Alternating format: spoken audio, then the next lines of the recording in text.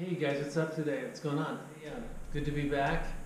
And um, um, one of the things I was going to work on today over here is something like one and two